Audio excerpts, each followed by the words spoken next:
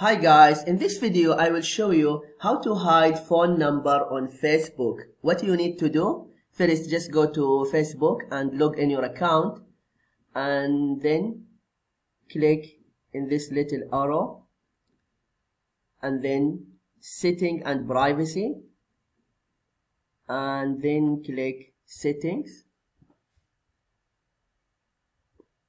After that you click privacy and then just scroll down.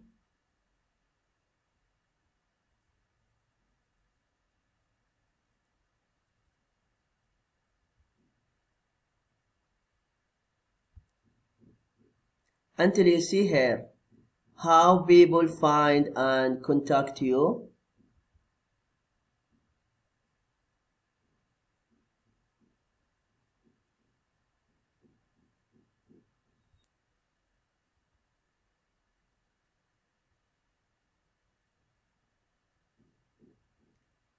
until you see her who can look you up using the phone number you provided. I choose her everyone. You need to edit and click only me. That's what you need to do if you want to hide phone number on Facebook. I hope this video is helpful. Please don't forget to give a like and subscribe to the channel if you are not subscriber yet. Thank you and see you.